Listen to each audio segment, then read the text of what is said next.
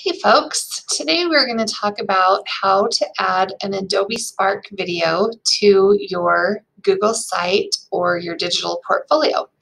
So the first thing that we need to do is go to Adobe Spark and um, obviously create a video. So I've already got one that I've created here and I called it Book Talk. I'm going to go ahead and open that up so that uh, it's in the editing mode And I can just close this tutorial out if it pops up. And here's my book talk. So um, what I'm going to do first is download this Adobe Spark video to my Chromebook. So I just have to click on download and it'll take a few minutes. So we're not going to open it right now we are going to actually go to our Google Drive. So go to Google Drive and hopefully you've created a folder that is for your portfolio uh, like I mentioned in the earlier video, it just makes it so easy when you know everything you need is right here in this one folder. You don't have to go looking for it every time. So I'm going to upload that video that I just created called Book Talk into this portfolio. And the way that I do that is click on the New tab, and I'm going to choose File Upload this time.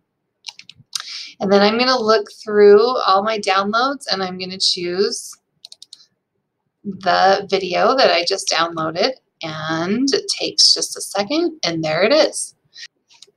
So one thing that we discovered about downloading and then uploading to our Google Drive is that it takes a little while for this video to process. All right, so now it's working. It's changed from that placeholder to an actual uh, thumbnail image of some of the images in my video. So now I know that it is ready to be worked with. So now I can double click to open it up and it'll automatically play. So I'm going to pause it right now because I don't need to worry about it playing. What I need to do is change the sharing permissions. This is super important. You cannot skip this step or people that are looking at your portfolio will not be able to see the video. So to do this, we go to the three dots in the top right hand corner. And when we click on them, we're going to go to the share. So we're going to click on share and it pulls up this little window.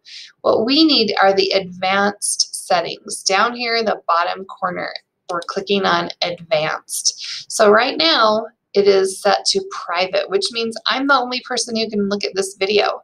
So if I tried to pull it up on a different computer or I tried to share it with someone, they would not be able to see it. Only I can see it.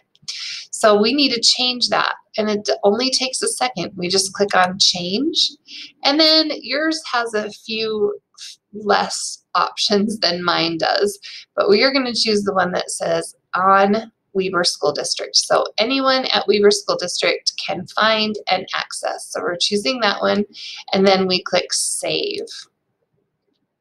So now when we have this sharing settings, we can see that it says Weber School District can see instead of where before it said private.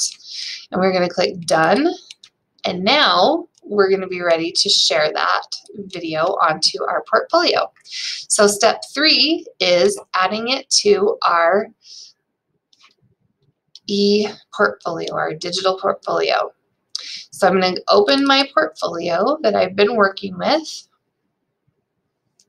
And since this is a book talk trailer, I'm going to add it to my English class. So find where you're going to add it. I'm going to English.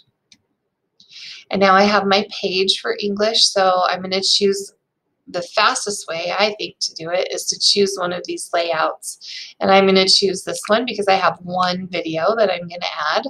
So I always like to add some text because just a picture or just a video doesn't explain anything. So I'm going to give it a title here, and then I'm going to explain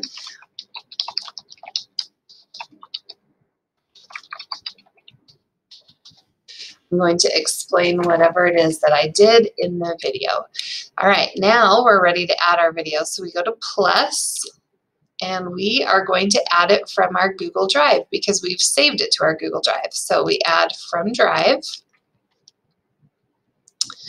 and we're going to find our portfolio folder which is why it's so nice to have that portfolio folder. I don't have to dig through everywhere to find it.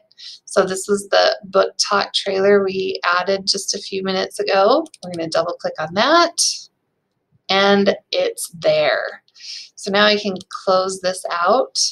And if I want to make sure that it's working, I can come up here to click on the preview button and now this is what people who visit my site will see, and they will be able to click on it and